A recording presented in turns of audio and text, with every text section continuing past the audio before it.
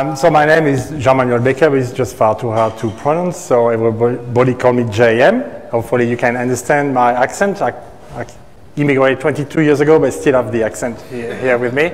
So we're going to talk about something, it can sound boring, but when you look at security and what happened at Capital One is a good example, uh, maybe we want to be more conscious as Australian what, what protected means. Um, so when I saw that, that news, uh, it was in January, I said, yeah, whatever, yeah, protected another kind of certification. Uh, but uh, when you look at, at it and then when you dig deeper, you can understand that how is it important for us to have uh, the proper government using proper design, proper landing zone, proper encryption. So what does that mean exactly? That doesn't work. Yeah, it does. Um, so I did a sh short message uh, for our internal people where I work because, um, you know, protected doesn't mean much. Um, so you can now securely classified information rated as protected inside the AWS Sydney. That's pretty cool. Um, what it was before, what is it now? So we're going to go dig deeper to understand uh, what it means. But um, protected is, is pretty high up in the, in the chain of classification of data, and that's the highest classification a cloud provider can have here in Australia. So it's an Australian certification. And what has been certified is the AWS Sydney only. So you cannot store protected data obviously out of the country. Um, so it kind of changed everything for the public sector. Before they were saying, oh yeah, we are protected data, there is sensitive information in there, we cannot put them to the cloud. Now that's the last kind of uh, hurdle uh, removed from them to be able to migrate to the cloud. And there is a lot of push from the public government to, to migrate information to, to a public cloud. Yes? This way. Um, who gave the certification? So um, ACSC, part of ASD, use IRAP assessors to assess the Sydney region and classify as protected. Well, thanks, that's not very helpful. Who, who are they? Um, who is all these groups and we, we had never heard before if you don't work in the really public sector and what exactly is protected. So we need to understand who is ASD first. And ASD um, can be anything, right? Uh, it's like an ad, or ah, you, I can regrow your hair on your head. We are certified experts who can do that for you. Well, um, actually, ASD is really the real deal. That was uh, joined together several forces. Um, I think it's Navy and, and, um, and Air Force during the World War II. They created the ASD, and then that evolved into now more cyber security protection for, for us Australians. So when you look at the ASD, this Australian signal directorate. That doesn't mean much either. But when you look at who is member of the same group, there is ASIO, uh, National Intelligence, Secret Service, AFP, uh, that's the real deal, right? It's not the Australian government not going to use these people uh, to give us false certification or false uh, information. Um, so the ASD um, certified that uh, AWS Sydney can host protected data. So how did that work? Um, they use IRAP, which is some registered assessors um, who are organized by the ASD. So this, you can become an assessor if you want, but you need to be certified. You need to all sort of uh, um, uh, classification and study on, on your, on your um, past uh, to be able to certify that and do assessment for the different environments. So IRAP assessor can provide assessment up to the top secret level. So it, it's pretty up there um, as a type of uh, certification who has been released to AWS. Um, protected, what does it mean? Um, so there is a lot of classification, and I'll go to detail just after this slide. Uh, what is protected? Uh, protected means high business impact, damage to the nation, interest, an organization, or an individual. Um, if that data is exposed or uh, uh, sorry, exposed. I'll say like this.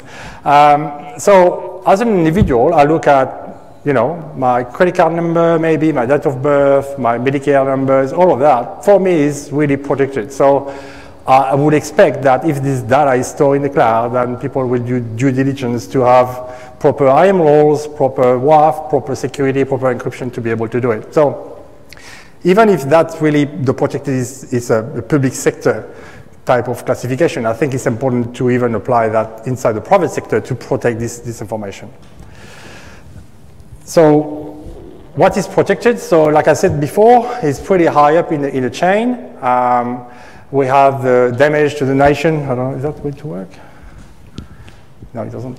Um, damage to the nation, um, and it's just before secret and top secret. So with secret and top secret, it, it's the, the, highest in the government uh, here in Australia, and then all the rest um, as unofficial, official, and sensitive. Um, the different classification for data. So when um, a government sends an email to someone, uh, they need to enter a certain codification uh, to be able to send this email and then write that information through the different uh, classification here.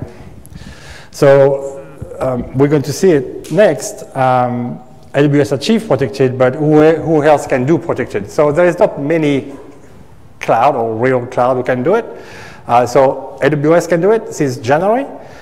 Microsoft and Office 365 um, and Azure can do it since April last year. So a bit of head start for Microsoft in that part to, uh, well, I can't do anything about it.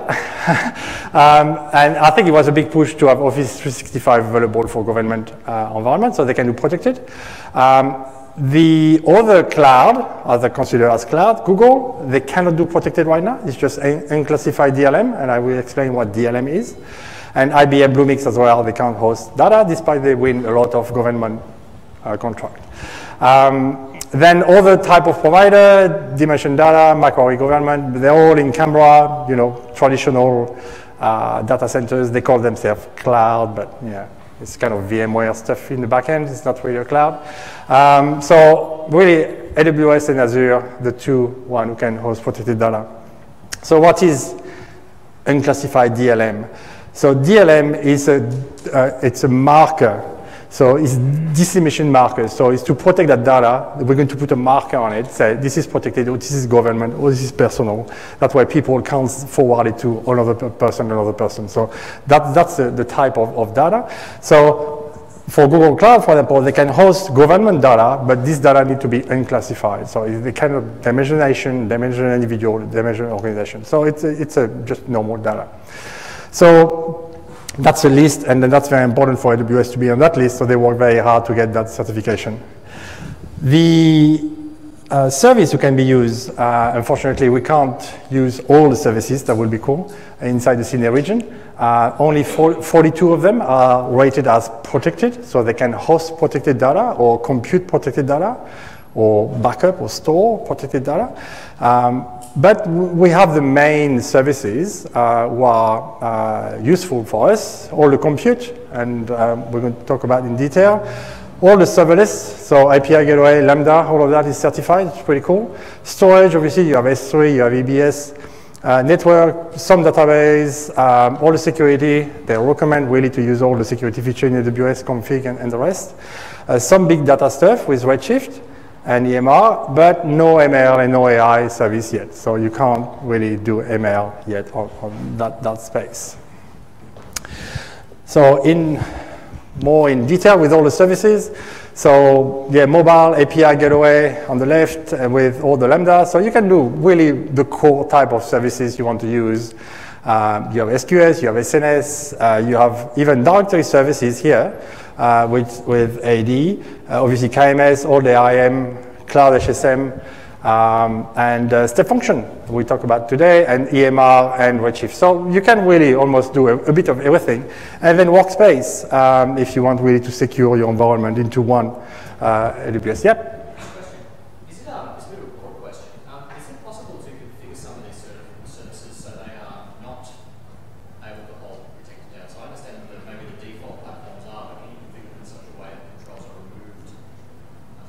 So you want to stop people using certain services? No, no, I'm just thinking, so, so the, I'm guessing that the default way that these services are configured, they, they have this protected level, uh, they, they can hold this protected data. Um, is it possible to turn off protections within those services um, to, I guess we had reassessed that that wouldn't, that wouldn't comply? We're going to talk about in detail what it means to be protected because that AWS is protected, right? That's not you. You still need to have another IRAP assessor to monitor and assess your application running inside the ass assessment of AWS itself. So we, we, we, I'll talk about it in a couple of slides. So these 42 services, that's the one you can use, but you need to use it a certain way. And then if you saw the slide before, uh, there was a little asterisk there for all uh, the cloud provider, and if you read at the end, must configure in line with the guidance. So it's a bit like PCI, right? You, AWS is PCI compliant, but that's AWS data center, location, servers, racks, keys, access, and stuff like that. If you want to put a PCI application in there, that's your responsibility. So we talk about it. Uh, so these 42 services, you can do almost the core of what you need to do inside the AWS space, uh, but no ML. Um, AWS, before being protected, um, were obviously holding the unclassified DLM certification as well. And there was four other services that you could use. So there was 46 services at the time. Um, obviously, AWS organization, it's um, uh, unclassified DLM. So you are allowed to use these four services, Trusted Advisor, Route 53, and Shield, to help you to do a protected environment, but not, these services cannot host protected data. So obviously you're not going to put data in AWS organization, but you want to use AWS organization to be able to do your billing, your uh, service control policies, and we're going to talk about it uh, uh, there. Uh, after, uh, trusted advisor to be able to do your auditing and stuff like that. So these four other services can be used as well in the public sector, but they cannot host or hold protected data.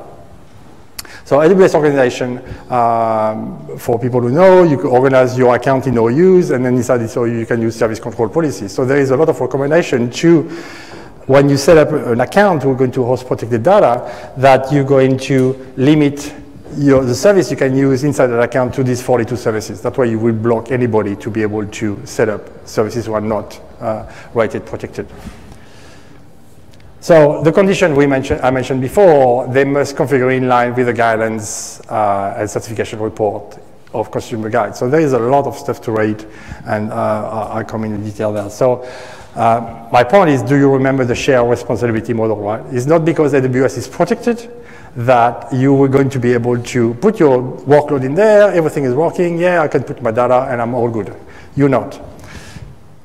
So protected model, uh, AWS is responsible for the security on the cloud, of the cloud, sorry, uh, which is, you know, the data center, the access, the, uh, the way they operate, the, the way they destroy the disk, the way they host the, uh, the different racks, uh, the, the power, the edge location, the networking, the database, if they host RDS, the way they do RDS management and stuff like that.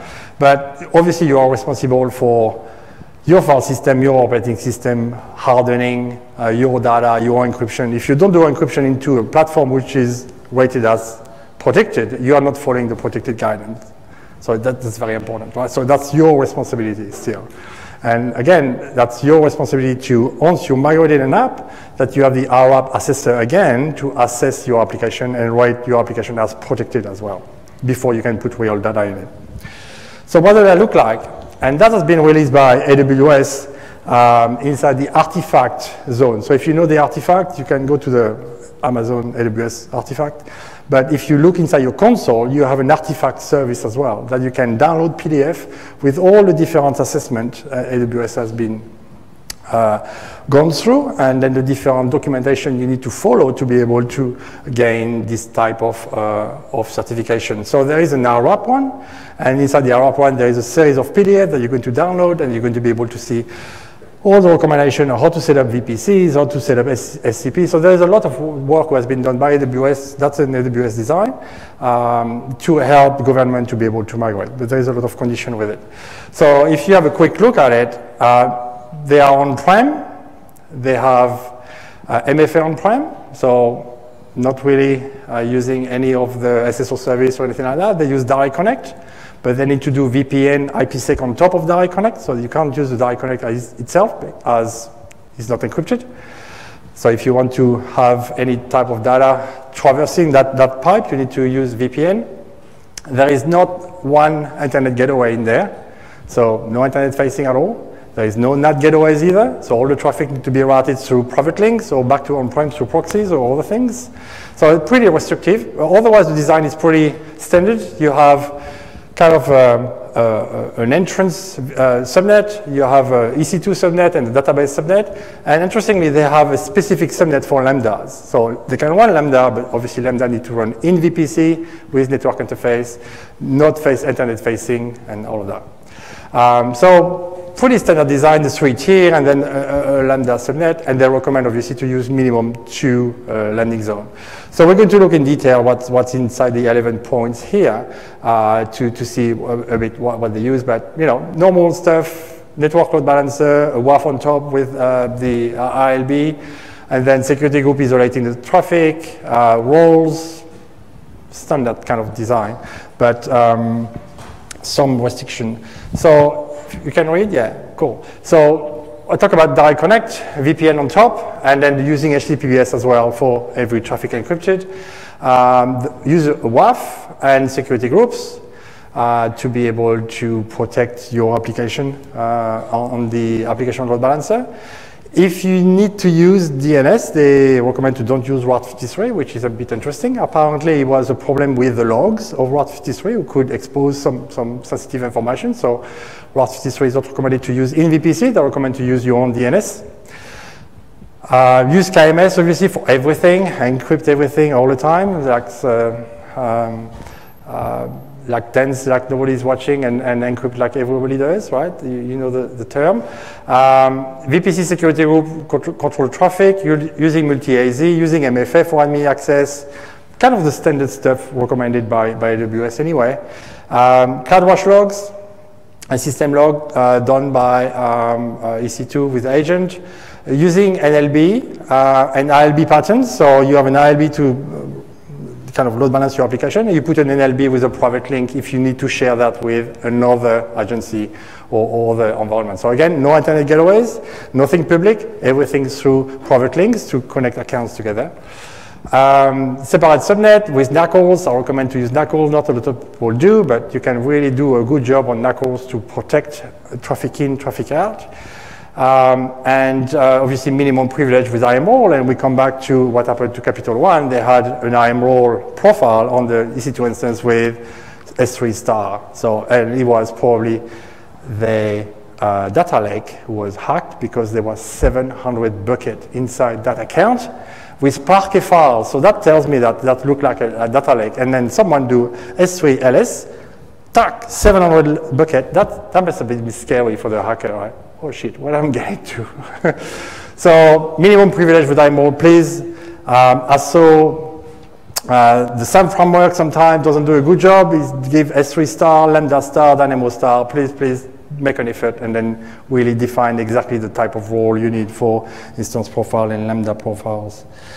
Um, other type of um, protected here, um, AWS config, obviously CloudTrail, um, uh, CloudWatch, Shield, all the standard stuff you, you heard many times. So uh, you need to have CloudTrail on every account. You need to use config. You use Lambda for security.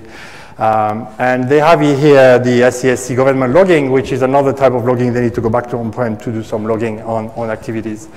And we have here the SCP I was mentioning before, where you're going to be able to uh, enforce the type of service who can be used in certain account or not through service control policies, which is much more granular now. So, um, in conclusion, uh, foundation design is not easy. Uh, I recommend that you really you get some good help to be able to build this, this environment if you need to. Uh, there is a lot of things to go through. Usually for normal enterprise, you will have the first one, multiple account design. You will have data encryption. You will have cl cloud adoption and well-architected framework. On top of that, you have the ARA protected uh, reference architecture, which is part of the document I've, I've, see, I've, shown. And then the ISM protected control requirement as well. There's more than 38 of them with all sort of uh, um, uh, monitoring um, uh, on logs, monitoring on activities, monitoring on um, on type of access you have. So uh, really a complex thing. So get, get some help to, to be able to build uh, a proper uh, environment protected because you don't want to fail your IRAP assessment when you migrate an application in it. And that's to protect all of us, really. Um, if uh, we, we have the health record or the Medicare record inside the, the cloud, we don't want uh, oops moment uh, like at Capital One to have people with IAM all open and having our S3 data getting um, uh, leaked. So that's about protected. Thank you. If you have any questions, happy to take some. And then I've got some resources for you. So some from ADS, uh, AWS, sorry, uh, and some from the Australian government that have gathered some information and some, some slides. I can share the slide as well. Yes, think, Scott. yeah. Do you think uh, AWS Security Hub will start to have standards against that protected? So in the ah. event that you're using like RDS encryption, but yep. it's uh, not custom managed keys, that would start to flag issues. At the moment, Security Hub just uh, covers CIS, yeah, the 100 uh, rules of CIS. Uh, I haven't heard anything. Maybe Chris, I, I don't know um, if you can. No, no. Uh, uh, Security Hub, yeah, why not? Or we can build the own, your own rules and to be able to follow that and, and ensure that that environment is encrypted through uh, AWS config. Because Security Hub still use AWS config in the backend to execute the rules and monitor the rules and, and, and give that. So uh, I hope so. We can, we can demand that feature. Yeah, sure. Please ask your account manager. they will create a product feature request. Any other question on landing zone or design or? There you go. Um, can you explain the ACSC custom logging? Uh, oh, that, that's a specific logging for government where they ship some logs, which I'm not sure which one. I'm not you know, weighted as government NV1 or NV2, so uh, to a central agency where they do an analysis on logs. It's like a SOC for government. Okay, but only only used by yes. Uh, federal government services? Yes, yes, yes. Okay. It's like a SOC specific for, for the government. I don't know what they look at it in there. I'm not sure. Fair enough, thanks. But you can do everything in the AWS native first, and then uh, have S3 to be fed to, to that, that logging. I don't know if it is a massive Splunk or something they use. I don't know what they use in the backend. Yeah. Any other questions? No? All right, give it up for JM. Thank you.